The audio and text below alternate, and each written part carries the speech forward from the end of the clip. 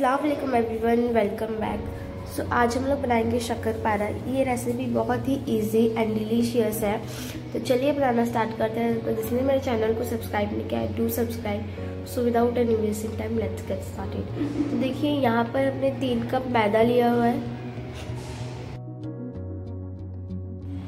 And देखिए, यहाँ पर हमने मिल्क लिया है। तो उसके अंदर हम डालेंगे डेढ़ कप शुगर एंड उसको हम अच्छे तरीके से बॉईल कर लेंगे।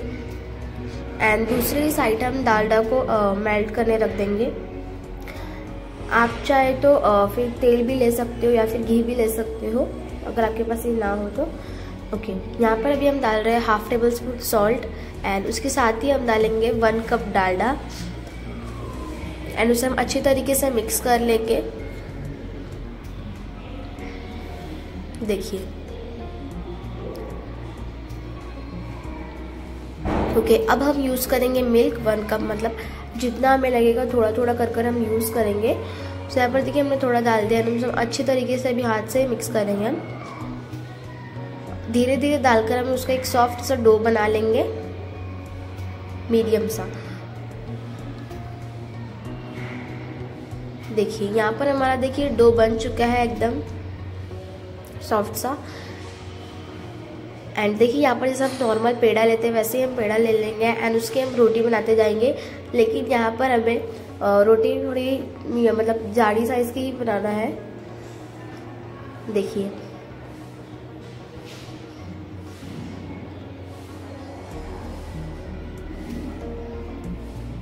देखिए, यहाँ पर हमने कुछ इतनी साइज़ की रखी हुई है।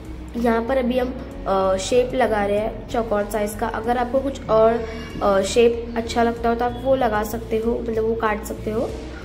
यहाँ पर आप स्क्वायर शेप का शेप बना रहे हैं।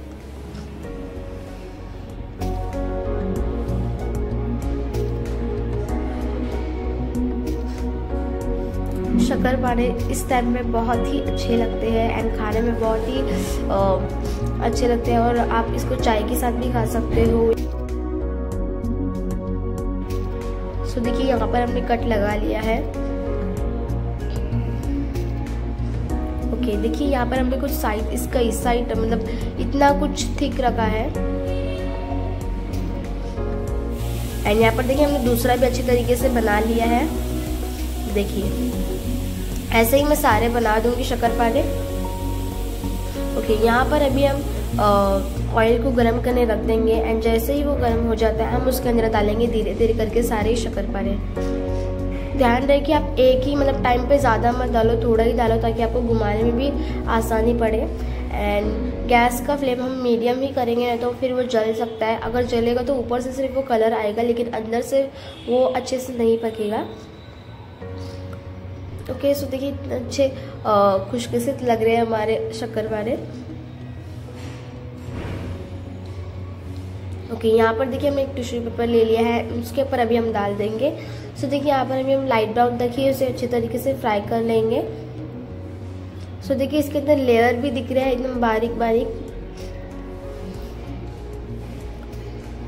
देखिए।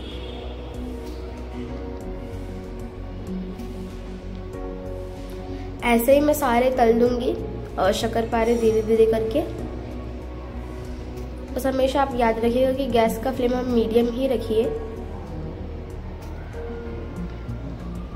देखिए, ये भी कितने अच्छी तरीके से रेडी हो चुके हैं।